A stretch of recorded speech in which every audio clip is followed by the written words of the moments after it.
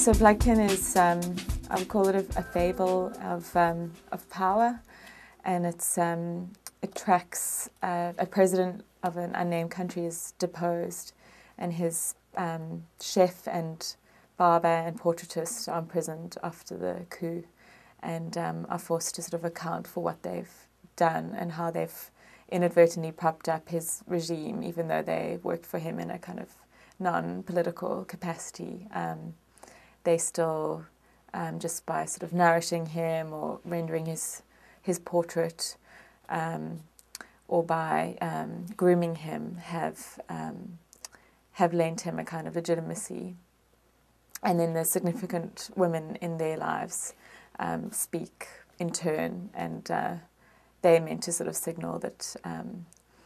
the kind of moral and psychological fallout in a in a political situation where there's a, a corrupt leader um, and how that's sort of trickled down to the general population.